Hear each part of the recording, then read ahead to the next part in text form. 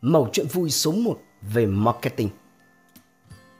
Nhà sư có dùng lược hay không? Công ty nọ chuyên sản xuất lược gỗ. Họ đang tuyển nhân viên kinh doanh và sau một thời gian sàng lọc rất kỹ thì đã tìm ra được tới 20 ứng viên tiềm năng.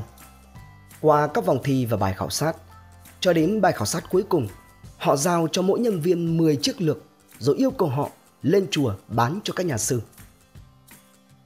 Mới nghe qua đề thi, ai ai cũng bật cười. Bởi vì nhà sư vốn dĩ không có tóc, thì họ dùng lược để làm gì? Quả là một đề bài quá khó.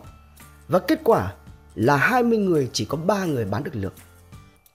Các nhà tuyển dụng lúc này mới hỏi ba ứng viên cái cách mà họ đã bán được lược là như thế nào.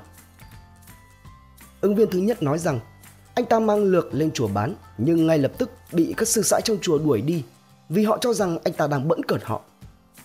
Anh này mặc dù là oan ức nhưng vẫn cắn răng ở lại, hết lòng nài nỉ.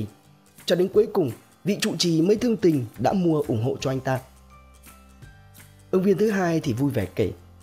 Khi chị ta lặn lội lên núi để bán lược, thì bị gió thổi khiến cho tóc rối tung lên. Nhờ vậy mà chị nảy ra ý tưởng thuyết phục các nhà sư. Chị nói với trụ trì rằng mọi người lên núi dâng hương đáng lẽ là cần phải có một bộ dạng đoan trang, dáng vẻ thành cẩn nhưng vì gió núi thổi khiến cho tóc họ rối, khó lòng mà giữ được điều ấy.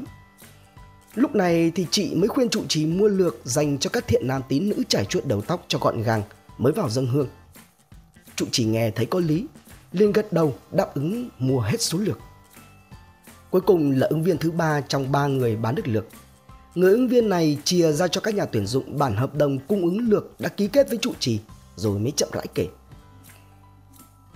Anh ấy kể khi lên chùa thì thấy một hòm công đức rất to. Người ra kẻ vào thỉnh thoảng lại thả vài đồng tiền lẻ vào để tích đức, nhưng không phải ai cũng đóng góp.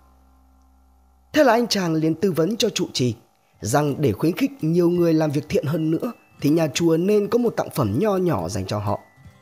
Với chiếc lược được khắc thêm ba chữ là lược tích thiện thì chắc chắn là nhiều người sẽ đến dâng hương góp tiền công đức để nhà chùa mang đi cứu đói dân nghèo trụ trì của nhà chùa càng nghe càng thấy có lý, liền mua hết số lượng mà anh ta đang có, thậm chí là còn ký hợp đồng nhập lượng với số lượng lớn dài hạn. Kết quả của cuộc tuyển chọn là không ai trong ba người bị loại bỏ cả. Bởi vì người thứ nhất là điển hình của những nhân viên chăm chỉ, có tính nhẫn nại và không bao giờ bỏ cuộc.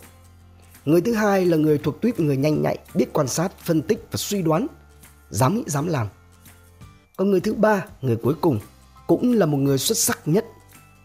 Là người biết định hướng đối tượng, biết phân tích tâm lý đám đông, rồi đưa ra giải pháp cụ thể, lâu dài và có thể phát triển. Qua câu chuyện này thì có thể rút ra được bài học rằng khi làm marketing, bạn cần phải kết hợp những điểm mạnh của cả ba mẫu người để có thể đưa ra được chiến lược đúng đắn nhất, nhạy bén trong việc phát hiện và sáng tạo khi đưa ra giải pháp. Cuối cùng là kiên trì thực hiện đến cùng.